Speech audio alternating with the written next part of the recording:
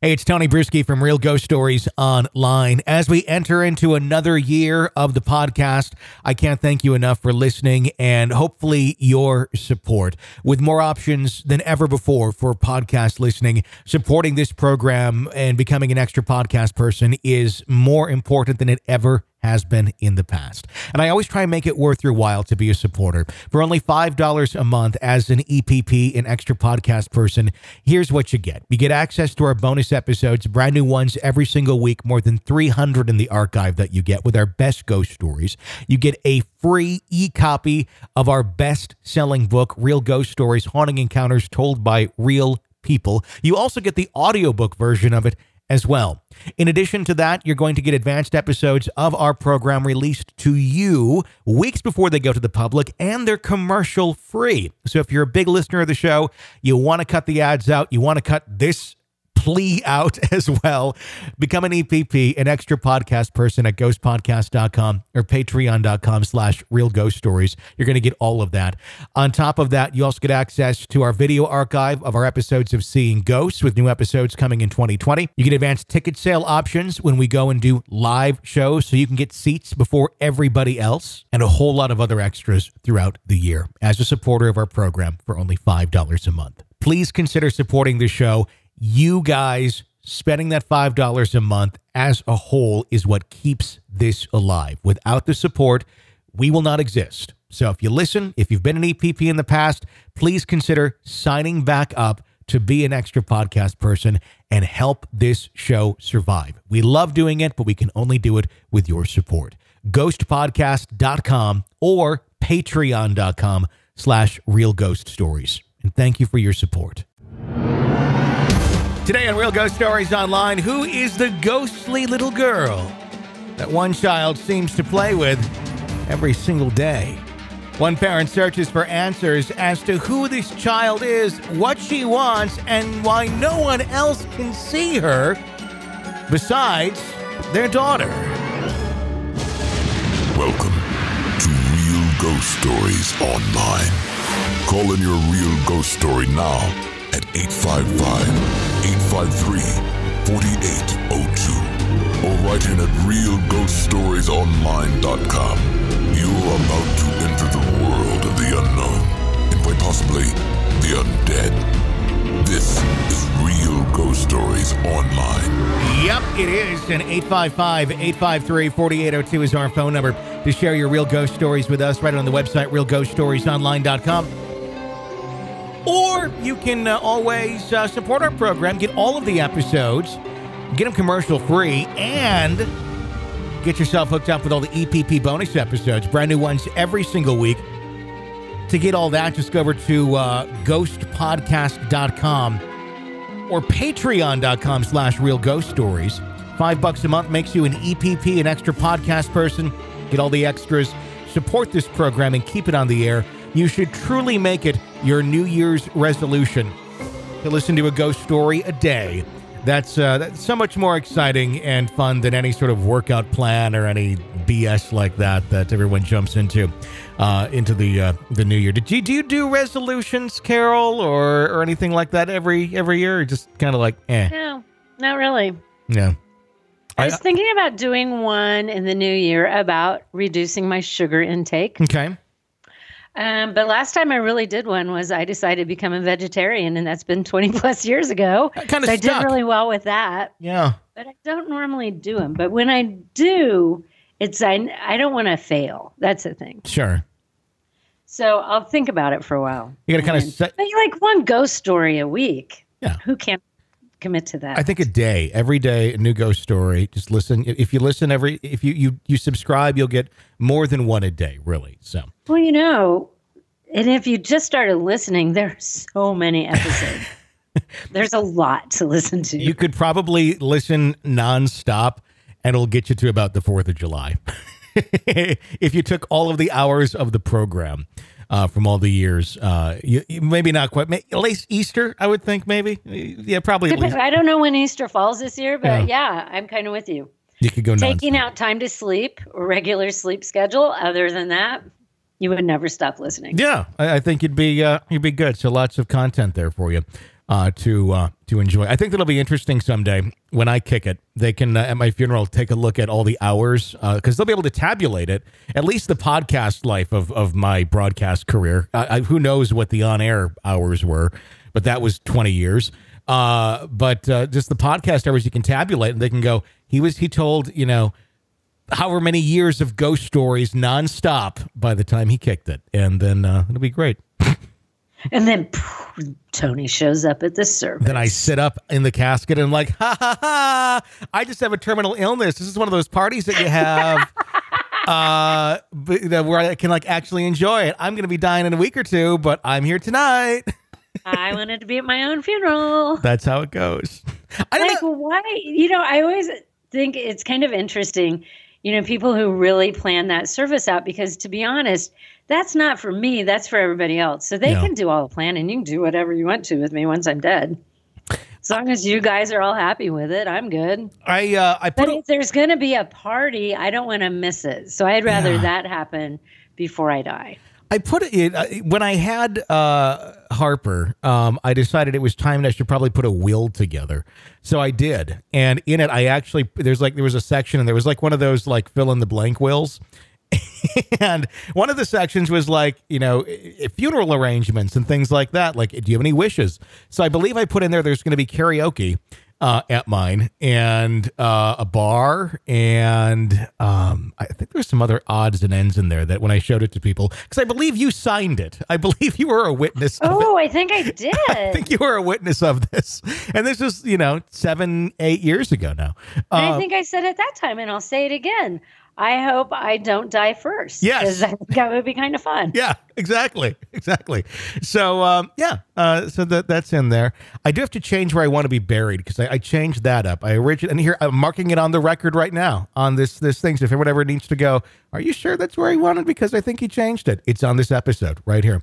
Um, I originally wanted to be buried back in. Uh, I don't even know where I want to be buried now, but I was originally wanting to go back to Wisconsin, uh, to the the cemetery that I grew up by.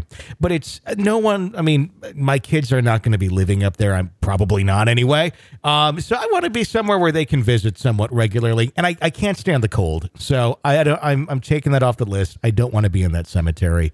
I'll find some other nice place where I can go be a zombie someday. But I, I think you're just in a nice urn, and your kids can just take you place to place. To I, place. I don't. I, I, I don't know. I have a a hang up on the whole uh, being cremated thing.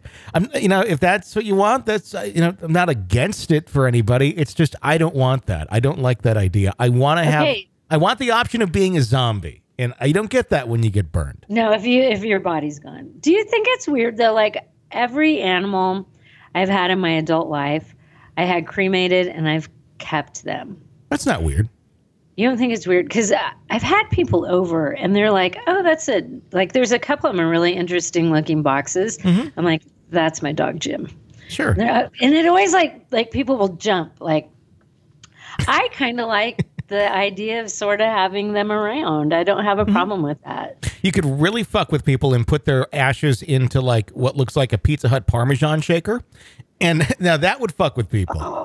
They're like, like if I was dumping somebody's ashes physically out, yeah, yeah, yeah, especially on my pizza. That because then you got to order another pizza, and it's like forty-five more minutes. Like I think your Parmesan's like, kind of gone bad. Not eating the one with Tony on it. this Parmesan doesn't taste right. Oh, that's Jim.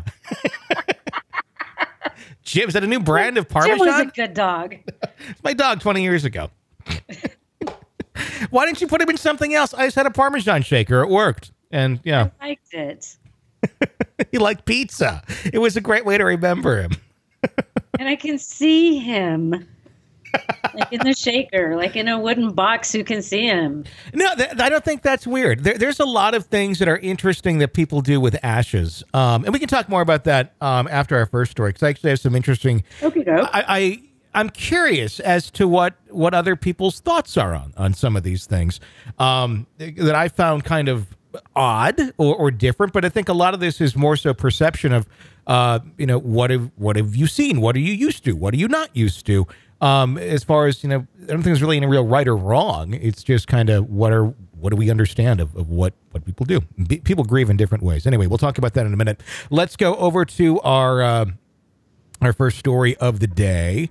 Uh, and it just says My uh, cousin and his wife tried many times to have a baby. After many attempts, it finally worked. They had a baby boy. Unfortunately, the child was born with some complications, and over a period of a month, he passed away at home.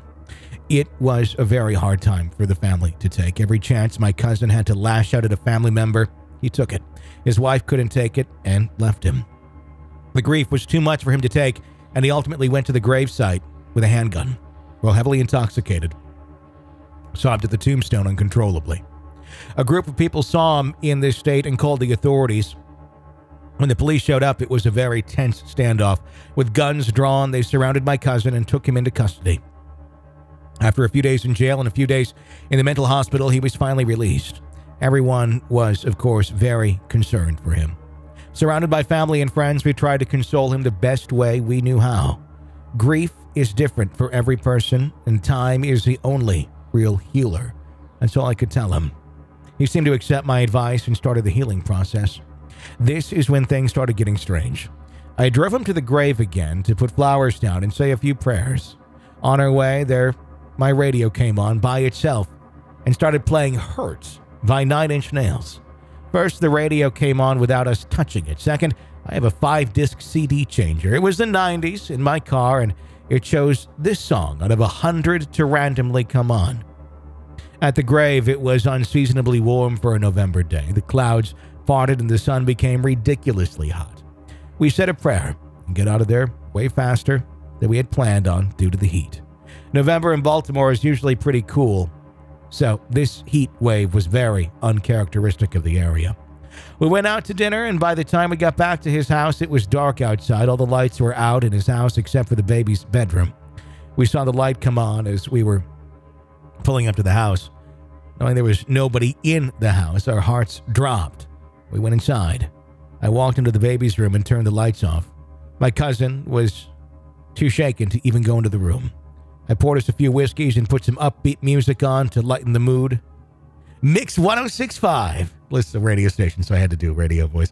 Mix 1065 is a pretty mainstream station, mostly playing Hootie and the Blowfish and the Goo Goo Dolls, more 90s. I'll be damned if that same Nine Inch Nails song came on again. I just turned it off, and as I did, we lost all power in the house. About five minutes later, the power came back on, and the baby's bedroom light was on again. We got out of there and went to my place. He and his wife ultimately got a divorce and sold the house. Every time I hear that song, it all comes back. Well, I'd say what's what's more paranormal than anything else from a radio standpoint, a hot AC station playing Nine Inch Nails in the Right? 90s. That right there That's says really strange. that is paranormal. And people and are that like, song is a really dark song, and Johnny Cash did a version of that. Mhm. That's really dark. I didn't know that. Yeah, and it's very, very slow, and it, he it was one of the last things he recorded. Wow.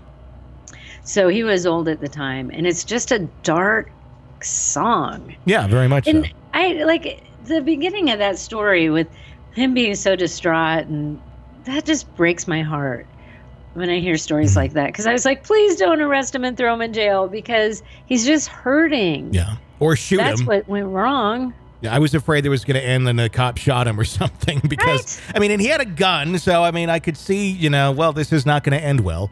But uh, I'm- Well, I'm- and at that point, they're trying to probably keep him from Yeah. hurting himself. You know, if Yeah. they have to. and you got an unstable person in a graveyard waving a gun around. I understand Right. that situation, and I don't, wouldn't fault them, but it's like, please don't end that way. But at the same time, you know, he's just so distraught. He doesn't know what to do with himself. That whole that kind of story always just breaks my heart. Yeah. But then to go to the house and that light comes on. Yeah. That uh, and just the, the the song consistently playing at odd times. The, the CD changer just going to that song, Mix 1065 that plays Hootie and the Blowfish and the Goo Goo Dolls playing Nine Inch Nails. Nine inch nails. Doesn't make any sense at all. And, and the thing is, that stands out to us like a sore thumb. The average radio listener doesn't. But trust me, it would not be on any Hot AC playlist in 1998 or whatever. Oh no, it was on the rock station because Yeah. I worked at a rock station at that time. Yeah, strictly rock. It It did not cross over. never. So yeah, it just it just wouldn't happen. So that that to me seems like it's somehow I don't know. I mean, it, it, it, it some frequency crossed into that one, and it was playing that song for a reason. And I just hope in situations like that, and so many of us have been there in our lives where that grief is just so dark and so consuming Mhm. that it's hard to see where you go. Yeah. And what he said, or she, about time is so true. But when you're sucked into that grief, like it means nothing. Like eventually, you know, time heals everything. Yeah. Yeah, shut up. It's the last thing I want to hear right now. Exactly. It, it seems like hard. everything that everyone says to you in those times are, are like, just shut up. It's so trite, and it's it's Yeah. just like, and and people Nobody are, knows what to say. No, they're well meaning. They have in in in what do you say? Because you you want to show that there's someone here who cares about you, but still anything you say is not going to be met with any sort of acceptance. But you know that that's just the thing though. It's just showing that you're there and you're trying. And I think that's more important than anything is is just to to be able to try. Don't overdo it. Don't say dumb, sh- super dumb shit like, oh, you know, I went through the same thing when uh, my gerbil died in fifth grade. You know, it's like, shut the fuck up, asshole. But just, just being a friend, just, hey, I'm here. I Did I ever tell you about what happened to me after my dad died? and and um I was I was like that. I wasn't that dark, but I was really depressed and really sad because it was one year almost to the day after Doug died, this story that you and I had Yeah. done last year. Yeah. And um so it's one year four days later, like almost to the day that my dad died. Mhm. And so it was just like that. It was really dark and I was so sad because, you know, it was hard to deal with Doug dying. Then my dad got terminally sick like three months later, and then he died. And it was just dark.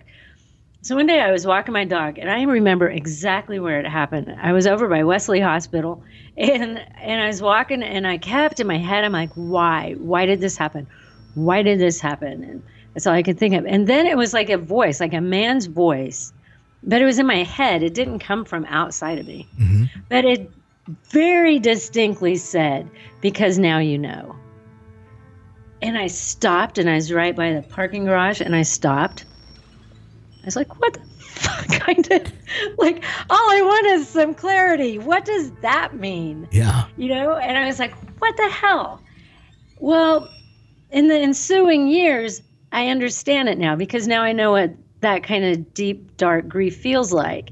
And I know what it feels like when people tell you, you know, I guess God needed her more than you did Yeah. and those things that I get it. I get what it's like. And you can be that ear and you can and you know that somebody might tell you the same story 30 times and you're okay with it. Mhm. You just are there for people. And it was just interesting that that one little thing at the time seemed like, what? That was my answer? Are you kidding me? But it was the perfect answer. Yeah. Because now I know what it feels like. It's living. And I It- can help somebody else get through it. And It- I have repeatedly over the years. it, it puts things into perspective and, mm-hmm. and until you you go through it you don't have that perspective it's just it's one of the things you have to live through to really get and until you have that experience you know it, there's like so many you know big things in life that once you've had it like oh holy shit that is as, yeah that's, that is as life changing as they say it is but i didn't realize it till it happened you know? You can kind of like i'm gonna guess it feels like this and then it's like oh holy shit that's i had no idea you know? But like that story that you just shared, you know, you like to think somebody that gets that dark and that desperate down the road can help somebody else because they get it. and and and So you help that person up, that person eventually helps somebody else up, and that's Yeah. kind of how it works. And it was just one of those moments where I was like, finally, some clarity makes no sense, but I got it. Yeah. And it did make sense. It did. It did. Thank you for sharing that uh, story with us. 855 853 4802 is our number at Real Ghost Stories Online. We'll talk more about urns in a moment, uh, but again, let's. This is like a real death episode. It is uh, kind of it's our ongoing theme of ghost stories. Death is usually involved in some we don't way. always talk about funerals and urns. No, and we don't. Depression and darkness. Going down this road today, but we'll, we'll we'll get to that in a moment. First, another story It says, "I love your podcast. Not only are you fun to listen to, but your podcast makes me feel like I'm not alone in experiencing otherworldly things." I was hesitant to send my story in, as only my immediate family knows about this, but here it goes. Ever since I was a child, I have seen and felt what I call the little girl. She's a child no older than 10 years old. I can't describe her in detail, but she's wearing a dress, not a timepiece from a specific time frame. I don't know what color it is or whether she's wearing shoes, but I see her. I can't see her details. More than anything, I feel her and her emotions. I can feel her presence. I can't remember when it started, but I was young, around six. I remember waking up abruptly with such sadness, overwhelming sadness. I started crying, sobbing intensely for no reason. As I propped myself to a sitting position, my head turned to the right corner of the room, and there she was, the little girl, looking at me, and I could immediately tell that the sadness was coming from her. I don't know how long I was crying or for how long the little girl was there, but I wasn't scared. It happened a few more times, and then things started changing with her. When I was around nine, I woke up startled and scared and feeling afraid. Again, she was standing in the right corner of my room and she was angry. I couldn't see her face, but I could feel her intense anger. I was taken over by fear. I was trying so hard to catch my breath. It must have been a minute, and then she was gone.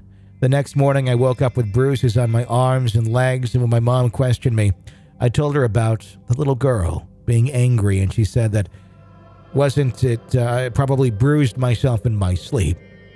This happened constantly, and my mom, being a non believer then, would tell me everything is fine. My aunt, on the other hand, thought it was a spirit tied to the house. When I was 11, we moved, and I thought that would be the end of it. I was wrong. At the new location, she appeared again and again, each time her anger increasing immensely. More bruises, larger bruises. One night it got so bad I couldn't move, I could barely breathe, and I think I actually saw the little girl, shoulders trembling. She had never moved before, and I started hearing whispers in my room, close to my ear, so very close. I wanted to run, but I couldn't move. After she was gone, I ran to my sister's room and was so, so scared. The next morning, I woke up with a bruise on my left shoulder in the shape of a hand palm, including the fingers, and all it was was a small handprint. I showed my family and told them about the whispers, and they started believing. I was taken to a church to talk to a priest, and he said to pray for a little girl. I did, but it never stopped. Others said to ask her what she wanted, but I was too scared. Others said, Don't talk to her, as that can make things worse. We sage the house, had a priest bless our house numerous times, but nothing helped. I can't say that I learned to live with it, but I have somewhat gotten used to it. Eventually, I got married and moved and thought that was it. Nope. The little girl came along with me. But four months into our marriage, I woke up again with extreme sadness. Words can't describe how I felt, like my heart had been broken. And there she was in the right corner looking at me in our new house. My husband woke up and was asking me what was wrong, and I couldn't talk. I was crying so hard. I told him about her. I had mentioned her before, as he had seen the bruises. He didn't fully believe me, as expected, but then later that week we were in bed and we hear whispering. We couldn't tell what was said, but it was directly above us, near our ears. We shot up so fast, so scared, and I told him it was the little girl. The whispering continued for almost 30 seconds. He fully believed me then. Eventually, I got the guts to ask her what she wanted, but I hadn't gotten a response. I'm 35 years old now, at a new house, and still, she's here. I don't see or feel her as often, but she is there. I can feel her here. I can sense her. And she still bruises me every time she's angry. I have more stories about her, but she has only allowed herself to be seen by my brother and I, and heard by my husband. Maybe one day she'll tell me what she needs from me, or she can tell me what happened to her, so we can both find our peace. What do you think of that one? God, that would suck. Because last thing I want is a kid ghost. Yeah. I don't like because they just make me so sad anyway. Sure. But that's interesting because the ghost is following her. hmm So the ghost is attached to her no matter where she goes. Yeah. And what do you do? I mean, but she said she hasn't had the nerve to say, What do you need? What can I do?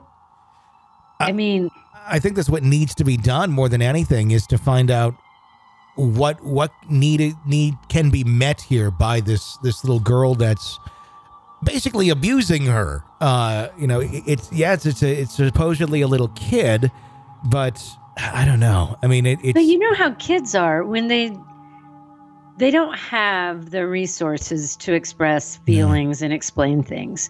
So they get angry. yeah, You know, kids start crying or they're screaming. They're angry Mhm. because you're not getting it. sure, And so that's what it feels like to me. It's like the kid's angry because she needs something that she's not getting. hmm So I, it kind of feels like unless you address what, if you can figure out what it is and help her move on, you'd be doing her and you a favor. Might be scary, and maybe you get someone to help you do it, you know, someone who has some experience in that sort of thing.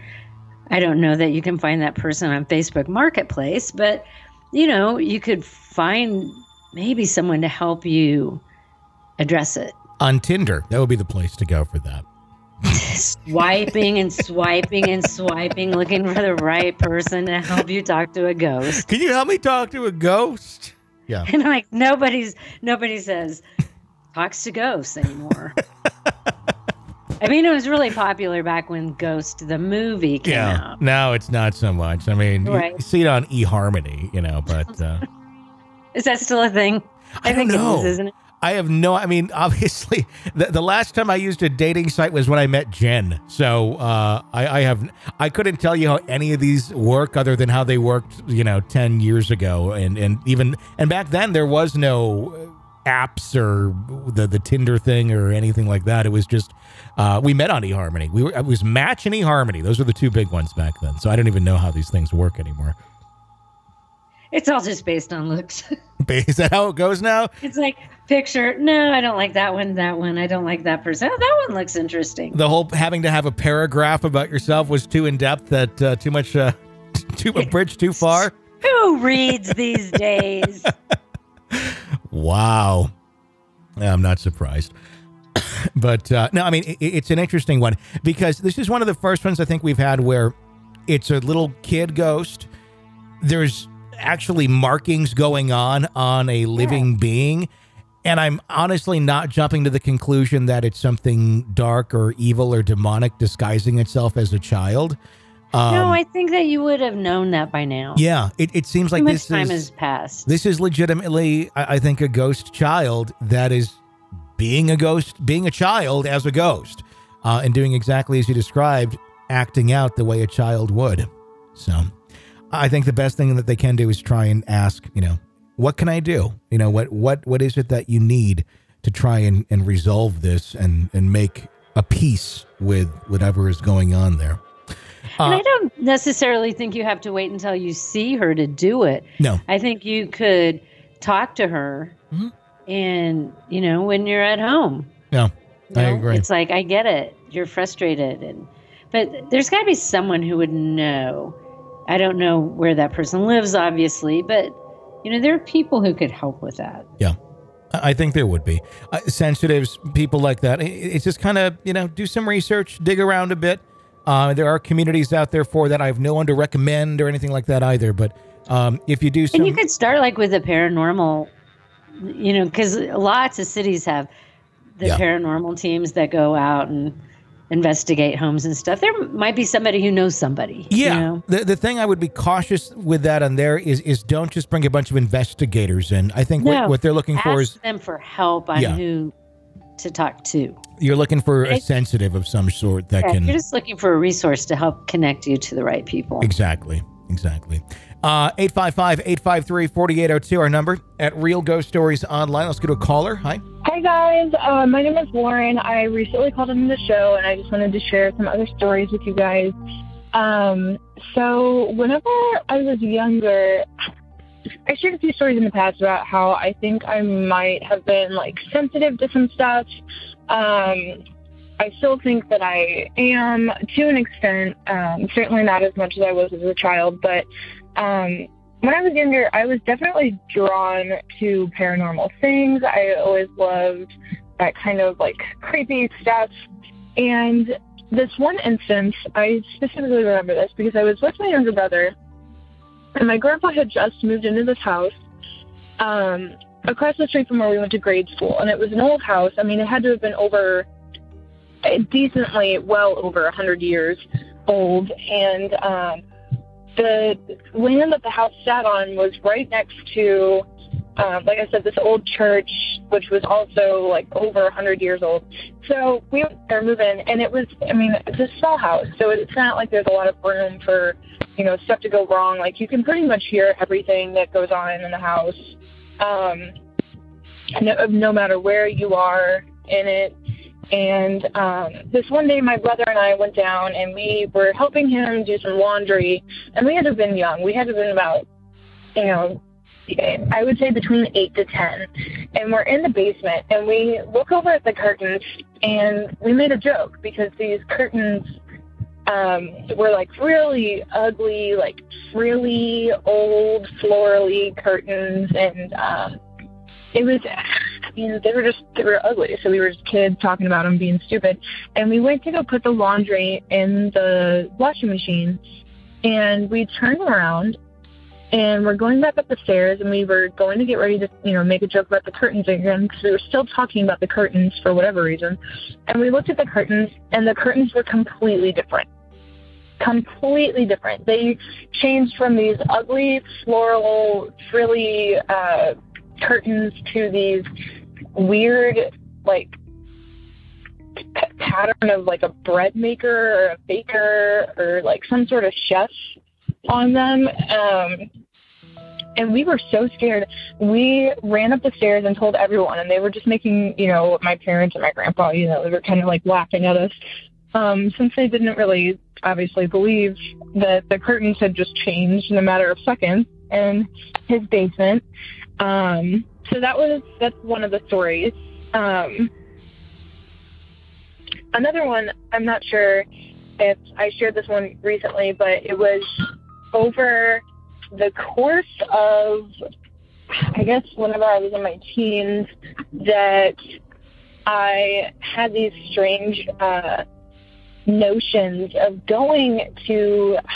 I had to be tutored for math. I was I did a horrible job at math, so I um, had a tutor who would pick me up after school and take me over to her house, and it was nice on this, you know, really nice house on this golf course and everything. And while we were on the way to the house, uh, we passed a house that had a lake in the backyard, and this this lake had a set of stairs that walked all the way down and into the water.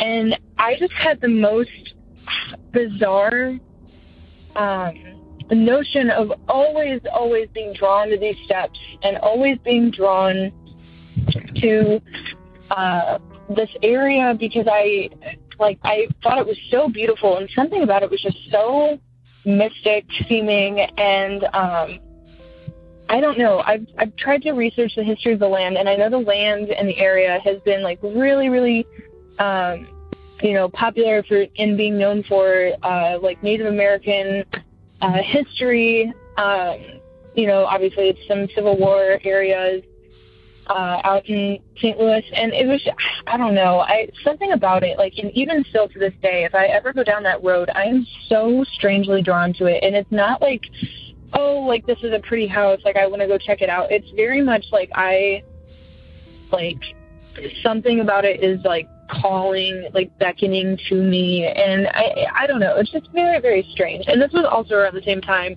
Um, I know I've mentioned in stories before that I would see this shadow figure um, you know, follow me around and uh, kind of he this thing would show up in my bedroom and in my dreams and stuff like that. So I don't know. I, I, I would be curious to know your insight to think if there is anything connected um, there potentially or just the history of the land. Um, So yeah, I just thought I would share these stories as well. And uh, thank you for listening.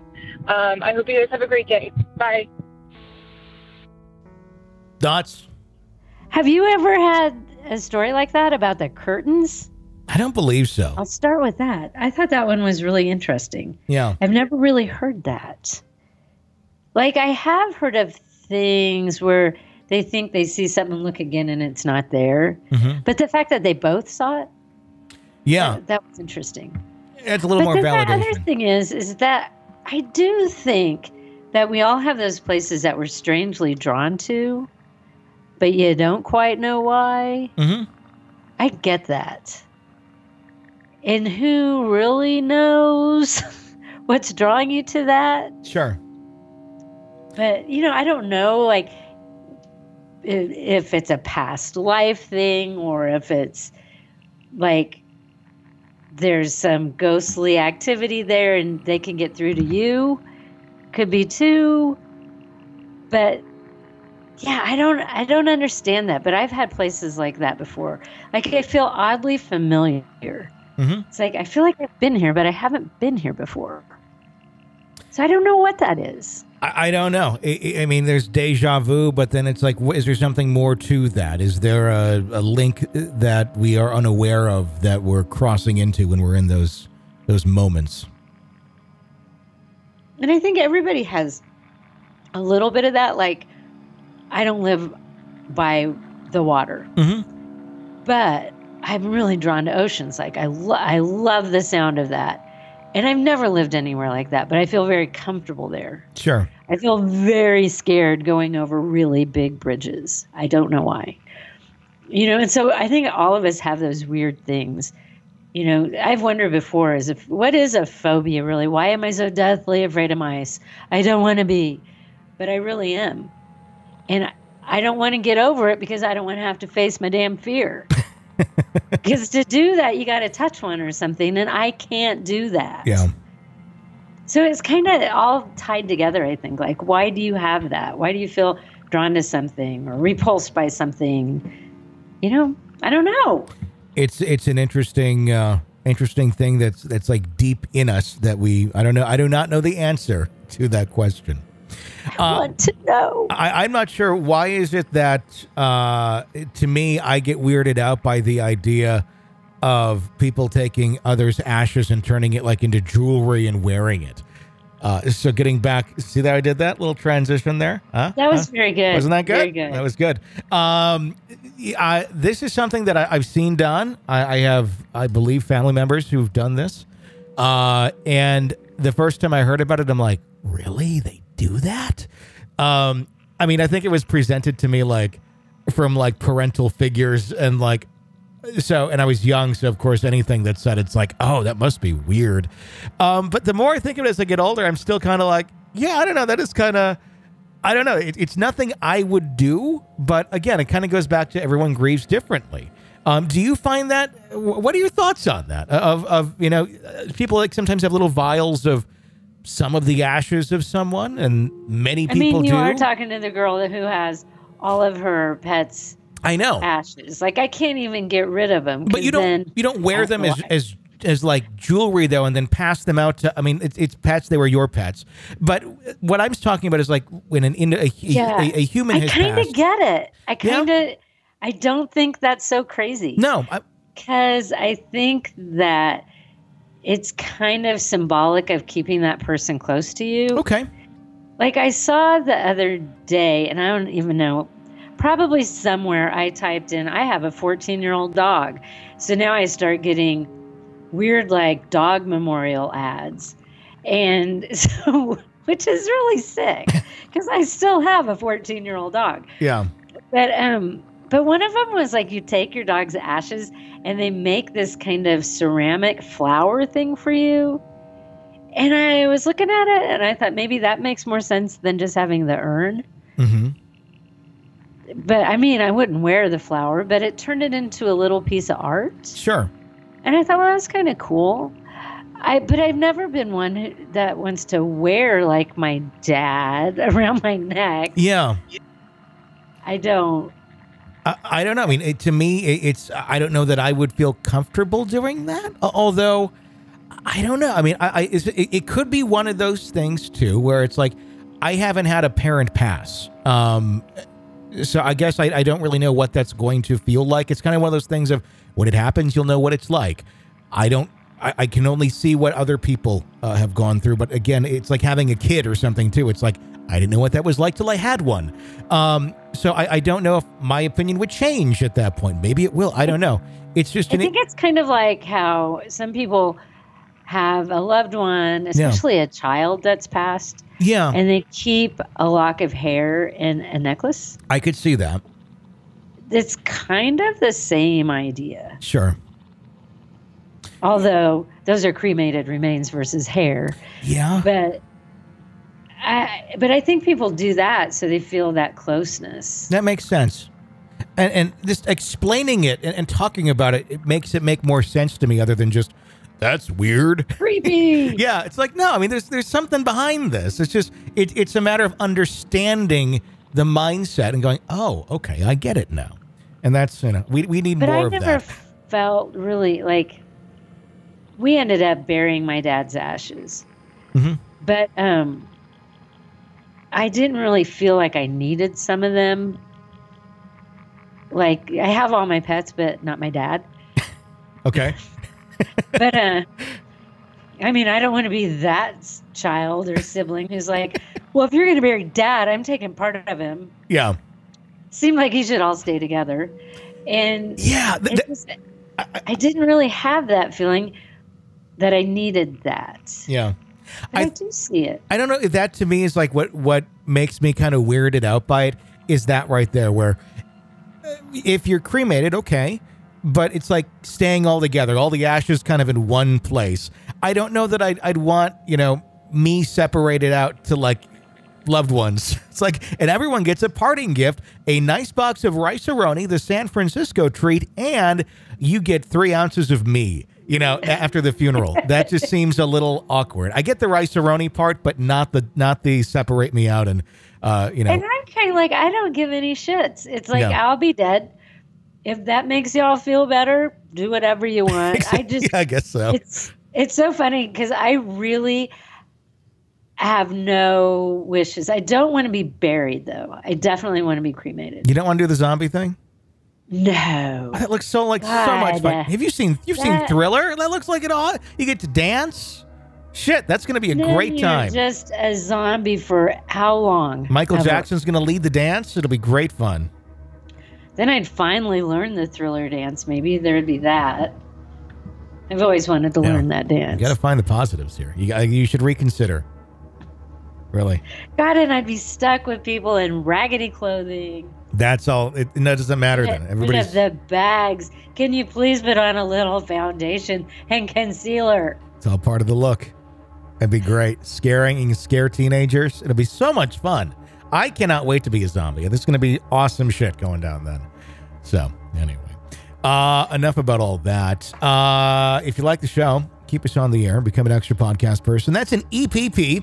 Make it your New Year's resolution, like I said. Go to ghostpodcast.com and sign up to do that. Or if you like Patreon, that platform is there for you as well. Patreon.com slash real ghost stories. At the least, press subscribe on the platform you're listening to us on so you don't miss an episode of this program. Until next time, for Carol, I'm Tony. Thanks for listening to Real Ghost Stories Online.